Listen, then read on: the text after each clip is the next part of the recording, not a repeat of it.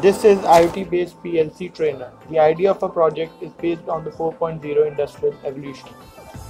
This is the main circuitry of a project. This is the main power supply switch. Now as we turn on the power supply switch, firstly the air is pumped into the cylinder through the compressor which is controlled by the pressure sensor. The purpose of the pressure sensor is to turn on the compressor when the pressure is below 15 psi and turn off the compressor when the pressure is 30 psi automatically. The status of the sensor is also indicated when the display of the sensor turns from red to green when the pressure is below or above the required range. We have used total 8 industrial sensors in our project. The output of the sensors are sent onto the cloud through our IoT device Ventec G02.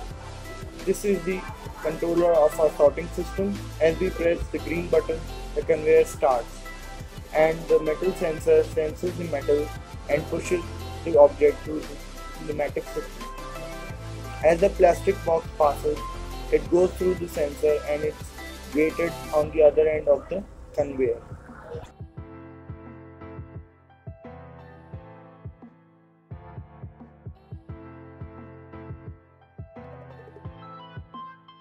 The red button stops the process. Our second module is the boiler system. Its purpose is to maintain a certain temperature with the help of a PT100 temperature sensor. It also has a level sensor which maintains the level of water inside the boiler automatically. This module also has a heater inside it to heat the water.